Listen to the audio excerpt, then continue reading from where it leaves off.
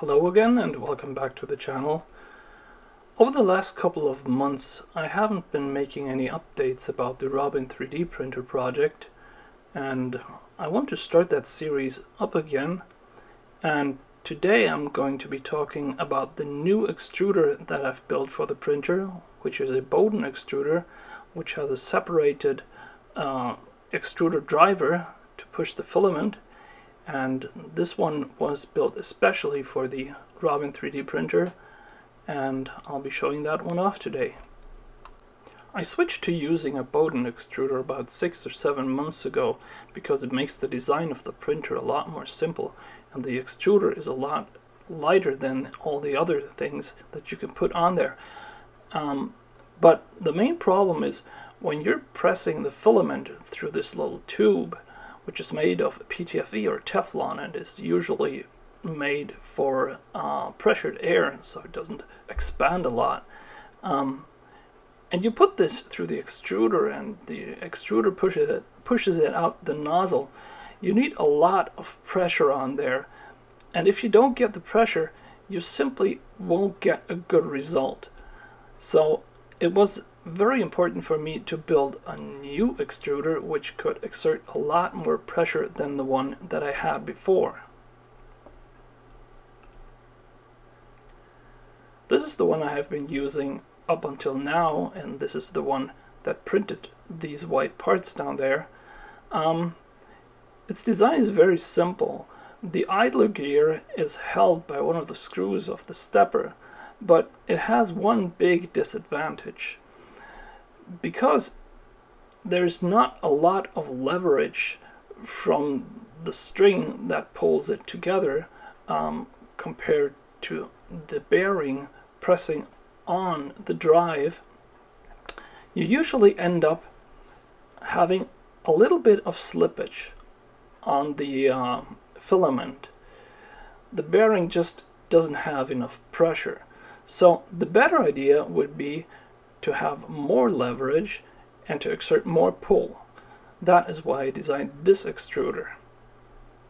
The extruder is designed for the MK8 drive gear, which is in my opinion one of the best around because it can just exert such a lot of force on the filament and it is reasonably small.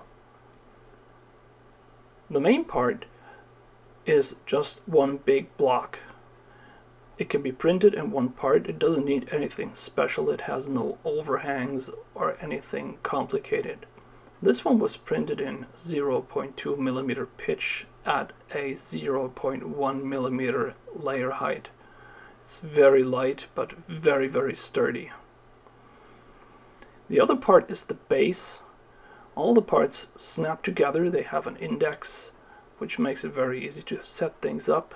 The top comes at the top and both together then form the axis for the idler which consists of two printed parts and the bearing which is taken from a skateboard. Everything snaps together. It can be held together with a little bit of glue but in usual use this is not necessary because everything fits so well. In the end, all of the parts are held together by the screws of the top and bottom that are screwed into the stepper motor.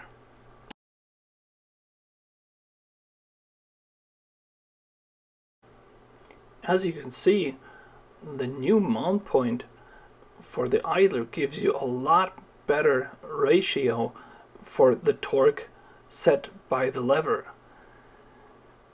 If you exert force now with a screw or with a spring, it will exert a lot more force on the filament and on the drive gear, thus giving you a lot more pressure of filament in the tube going to the extruder. With this design I went for a simple screw and nut to put tension on the lever which turned out to be simple enough but very effective. Um, although I have some problems fitting the screw in. Um, in the end, that should be held in place with a little bit of glue. Before filming this video I actually went ahead and drilled all the holes with the appropriate diameter. It turns out that any any thing I put on the surface has the right size, but holes usually tend to be a little bit smaller. Um, so you have to drill these things. But it leads to everything fitting almost perfectly in the end, so that is okay. And once everything is put together, it just fits like a glove. It's amazing. To set the screw and the force exerted on the filament, I use a simple washer and a rubber seal uh, together with a nut, or even better, a lock nut, um, to put the force on the filament. This works very well, and those little rubber washers, which are used in uh, air pressured uh, devices or coffee makers, for example, are really good. You should use a lock nut. It makes things a lot easier. So in the end, everything is fitted on top of the stepper motor and if you want to make things even better, you can add another bearing at the axis of the stepper which pushes against the base of the extruder drive to make sure that it doesn't move that much when the stepper is pushing at it, against it. Um, this works very well and it is held in place by the upper bearing. Now we add the attachment to the Teflon tube to the extruder which is really only screwed into the plastic. Um, cuts very well and it holds down very well as well. And basically, once we add the drive gear, we're done. The drive gear simply slips on. Once it's about at the right height, there's a small extrusion in the plastic so you can fix it down and then you should simply put some filament in there and mount it to the correct height and you're done. Everything's finished.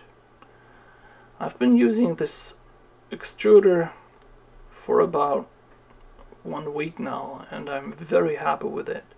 I had to adjust it twice but the results of all prints just look fantastic. Um, there's very little oozing and there's very little uh, drive latency and I'm really happy with it. So I hope you liked this video, thank you very much for watching and goodbye.